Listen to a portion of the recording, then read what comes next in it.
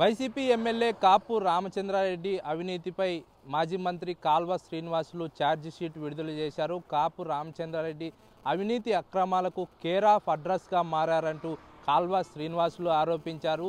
BTP అభివృద్ధి కోసం గతంలో జగన్ హామీ ఇచ్చారని ఇంతవరకు భైరవాన్ తిప్ప ప్రాజెక్ట్ అభివృద్ధి ఎలాంటి అభివృద్ధికి నోచుకోలేదని చెప్పేసి విమర్శించారు.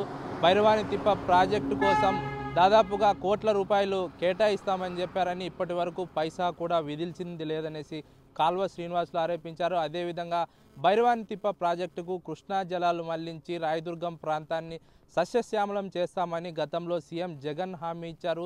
ఎమ్మెల్యే కాపు రామచంద్రారెడ్డి హామీ ఇచ్చారు. కానీ ఇంతవరకు కూడా భైరవాని తిప్ప ప్రాజెక్టుకు చుక్క కృష్ణా జలాలు రావడం లేదని చెప్పేసి కాల్వ శ్రీనివాసులు ప్రధానంగా ఆరోపించారు విమర్శించారు.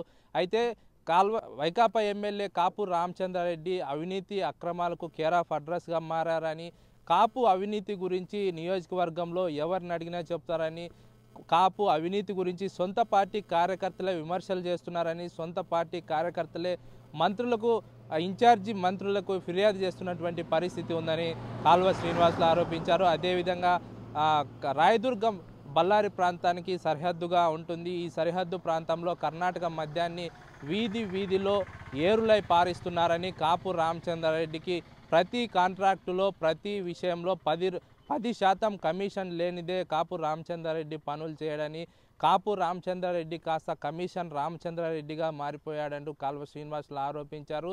రెండు వేల నలభై ఇరవై నాలుగులో ఖచ్చితంగా కాపు రామచంద్రారెడ్డిని రాయదుర్గం ప్రజలు ఓడిస్తారంటూ ఈ సందర్భంగా కా కాల్వ శ్రీనివాసులు వ్యాఖ్యానించారు.